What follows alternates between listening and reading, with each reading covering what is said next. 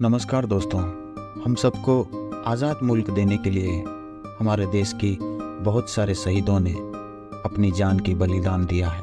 ठीक उसी तरह हमारे देश के कई सारे राज्यों ने अपने औलादों का बलिदान दिया है इस देश की आज़ादी के लिए। वैसा ही एक राज्य है उड़ीसा जो आज एक कामयाब स्टेट के लिए जाना जाता है। ये वो स्टेट है जिसने अंग्रेज़ों के खिलाफ पहले बगावत की थी। 1817 को पाइक विद्रोह के नाम से। तो आइए जानते हैं, पाइक विद्रोह है क्या? पाइक विद्रोह 1817 में ब्रिटिश ईस्ट इंडिया कंपनी के शोषणकारी रूल्स के खिलाफ उड़ीसा में पाइक जाति के लोगों के द्वारा किया गया एक संघर्ष था। पाइक उड़ीसा की एक पारंपरिक भूमिगत रक्षक सोल्जर थी। वो सोल्जर के रूप में वहाँ के लोगों की सेवा करते थे। पाइक विद्रोह के नेता बक्सी जगबंधु थे।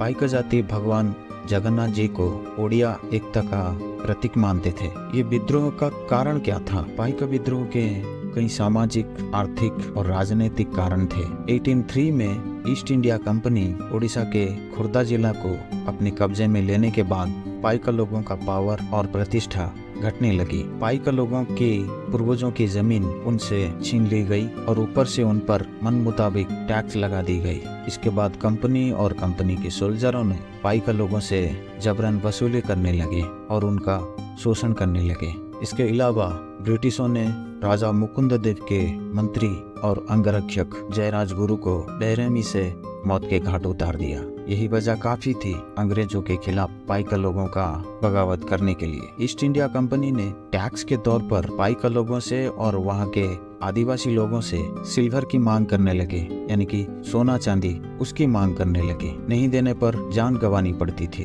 इन सारे तकलीफों के लिए पाइका विद्रोह शुरू हुआ था। इस विद्रोह में पाइका लोगों के साथ घुमसर, आदिवासी और वहाँ के जमींदारों का भी साथ मिला था। और मार्च 1817 को ये विद्रोह पूरे ओडिशा में फैल गया था और अक्टूबर 1817 को ये विद्रोह खत्म हो गया था क्योंकि ब्रिटिशों ने इस विद्रोह को दबा दिया था क्योंकि 1825 को अंग्रेज़ों ने बक्सी जगबंधु को गिरफ़्तार कर लिया था और जेल में ही 1829 को उनकी मौत हो गई। पाइका विद्रोह को ज़्यादा सीरियसली क्यों लिया जाता है? 1857 स्वाधीनता संग्राम जिसे आमतौर पर देश का पहला स्वाधीनता संग्राम उससे भी पहले 1817 को उड़ीसा में हुए पाई का विद्रोह ने पूर्वी भारत में कुछ समय के लिए ब्रिटिश राज की जड़ हिला दिया था। पाई का विद्रोह को उड़ीसा में बहुत उच्च दर्जा दिया गया है और बच्चे अंग्रेज़ों के खिलाफ लड़ाई में पाई का विद्रोह की स्टोरी को पढ़ते हुए बड़े हुए हैं। लेकिन भारत सरकार ने पाई का विद्रोह के 200 साल पूरा होने पर इसे पहला स्वतंत्रता संग्राम का दर्जा दिया है। ये छोटी सी कोशिश पाइका विद्रोह के बारे में आप लोगों को बताने के लिए।